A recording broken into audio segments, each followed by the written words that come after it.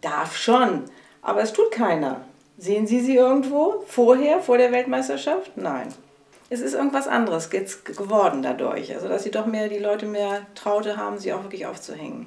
Wir, als Land sind wir doch, oder als Staat stellen wir doch schon was dar. Aber dadurch, dass wir ja den Krieg damals verloren haben, haben wir dann immer ja nur einen auf den Deckel gekriegt. Und das ist natürlich dann nicht so schön.